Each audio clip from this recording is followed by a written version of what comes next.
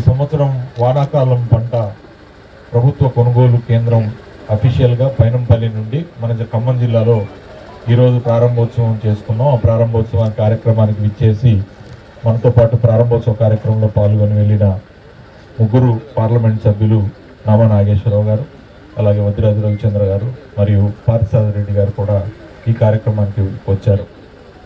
మిత్రులారా మనం తెలంగాణ రాష్ట్రం ఏర్పడిన తర్వాత మారిన వ్యవసాయ పరిస్థితులు ఇరవై నాలుగు గంటల కరెంటు పుష్కలంగా నీళ్ళు రెండు పంటలకి సాగర్ ఆయకట్టు కింద నీళ్ళు ఇచ్చే కార్యక్రమం.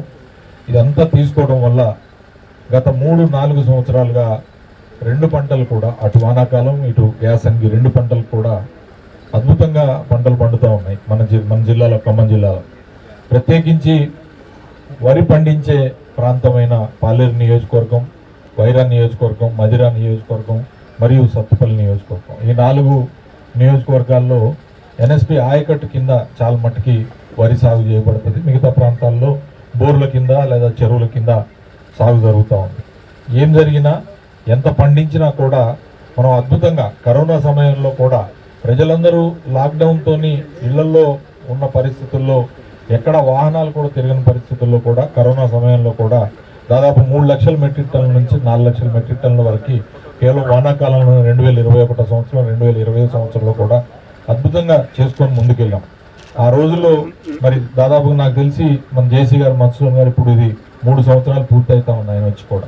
ఇప్పటికి దాదాపుగా ఆయన ఇది ఐదో క్రాపో ఆరో క్రాపో ఆయన సేకరణ మొదలు పెట్టుకోవడం ఎక్కడా కూడా చిన్న సమస్య లేకుండా అంత కఠినమైన పరిస్థితుల్లో కూడా అద్భుతంగా ఆ రోజున్న కలెక్టర్ కర్ణన్ గారు జేసీ గారు మధుసూదన్ గారు ఇప్పుడు గౌతమ్ గారు జేసీ గారు మధుసూదన్ గారు ఆధ్వర్యంలో ఎక్కడా కూడా రైతులకు ఇబ్బంది లేకుండా మరి మరి అటు మిల్లు మిల్లుల యొక్క విషయంలో కానివ్వండి గన్ని బ్యాగ్స్ విషయంలో కానివ్వండి సేకరణ విషయంలో కానివ్వండి సేకరి సేకరించిన తర్వాత ఇమ్మీడియట్గా దాన్ని మరి పేమెంట్కి తీసుకెళ్ళే కార్యక్రమంలో రైతులకి ఇమ్మీడియట్గా పేమెంట్ వచ్చే కార్యక్రమంలో కానివ్వండి మన అధికారులు అద్భుతంగా పనిచేశారు.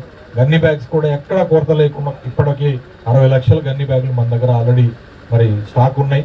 ఇంకొక నలభై లక్షల గన్ని బ్యాగులు కూడా మనం తెప్పించుకుంటాం. మొత్తం కోటి గన్ని బ్యాగుల యొక్క రిక్వైర్మెంట్ ఉందని కూడా చెప్తా ఉన్నారు కాబట్టి ఆ పరిస్థితిలో కూడా ఎక్కడ మనకి దేనికి కూడా కొదవలేదు.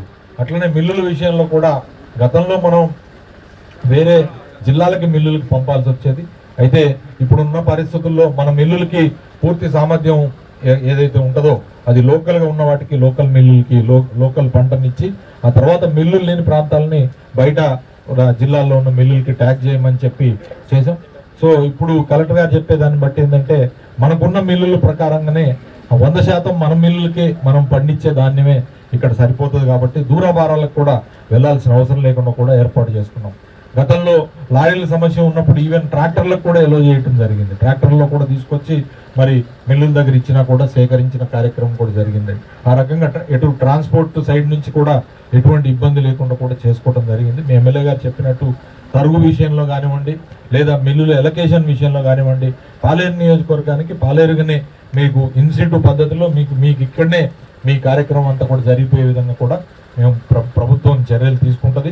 రైతాంగం ఏమి ఇబ్బంది పడాల్సిన పని లేదు. కానీ మొన్న నిన్న ఇందాక కలెక్టర్ గారు చెప్పినట్టు రైతులు ఆదుర్త పడాల్సిన అవసరం లేదు. మొత్తం పంట అంతా కొన్న తర్వాతనే కొనుగోలు కేంద్రాలు మరి తీసేయడం జరుగుతుంది. అంతవరకు కొనుగోలు కేంద్రాలు ఉంటాయి. కాబట్టి కొంచెం తూర్పార పట్టుకొని ఆ మాయిశ్చర్ పర్సంటేజ్ని ప్రాపర్గా చూసుకునేదానికి మనకు కూడా మరి వాతావరణం కూడా బాగా సహకరిస్తుంది కాబట్టి ఆల్రెడీ వానలు కూడా వెళ్ళి వెళ్ళిపోయినాయి. బ్రహ్మాండంగా ఎండ కాస్తూ ఉంది కాబట్టి ఒకటి రెండు రోజులు కాస్త మరి ఆరబెట్టుకొని తీసుకొచ్చినా కూడా బ్రహ్మాండంగా ఆ పర్సంటేజ్ మాయిశ్చర్ వచ్చేస్తుంది కాబట్టి రైతులు కూడా ఓపికగా ఆ కార్యక్రమం చేసి దాన్ని తీసుకొని రావాల్సిందిగా కోరుతా ఉన్నాం.